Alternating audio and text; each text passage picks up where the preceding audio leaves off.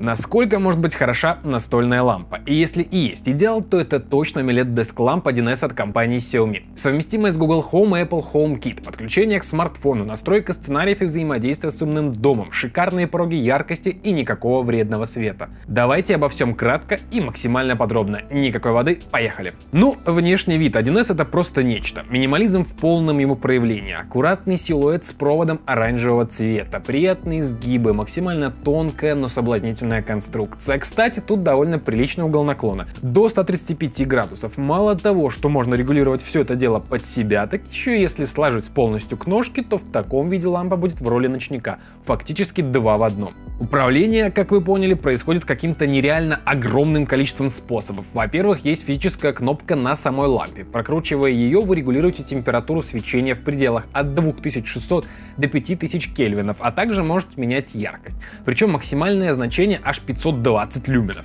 На камеру передается не так, как глазу, но все же посмотрите на минимальные и максимальные пороги.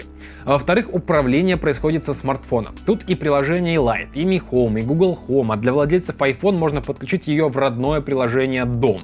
Кроме того, она поддерживает голосовое управление. Из всего вышеперечисленного самый большой функционал имеет приложение Mi Home. Тем более там еще можно настроить сценарий для взаимодействия с умным домом. Кстати, прежде чем мы перейдем к приложению, хочу сказать кое-что очень важное. У этой лампы низкое содержание синего цвета и полное отсутствие мерцания, что, как вы понимаете, благоприятно сказывается на зрении и позволяет долго читать и в принципе работать. А для детей это вообще идеальный вариант. Они бывают часами делают уроки, глаза устают, голова болит, э, но с этой лампой отмазаться уже не получится. Так вот, подключаем к приложению и смотрим, что нам доступно. Удаленное включение-выключение. Ручной режим, где вы можете регулировать температуру и яркость самостоятельно. Затем режим чтения. Тут уже подобраны настройки по умолчанию так, чтобы было максимально комфортно проводить время за любимой книгой. Режим ПК. Ну, тут понятное дело для работы за компом. Затем обращаем внимание на кнопочку «Избранное». Тут есть еще такие специальные конфиги под максимальную концентрацию зрения, ночное чтение, а также можно активировать приятный эффект, похожий на мерцание свечи. Или сделать так, чтобы лампа моргала, когда на ваш смартфон приходят уведомления.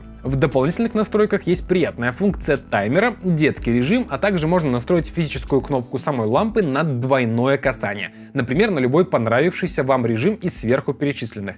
И это, я напоминаю, только одно приложение, а сколько возможностей открывается с голосовым управлением, это просто сказка. По-моему, это идеальный настольный светильник, разве не так? Ну вот и все, это был максимально краткий обзор данного светильника. И напоминаю, что делать такими краткими мы их хотим для экономии вашего же времени, но все вопросы вы можете задать в комментариях к этому ролику. Ставьте лайк, подписывайтесь на канал, спасибо за просмотр, пока.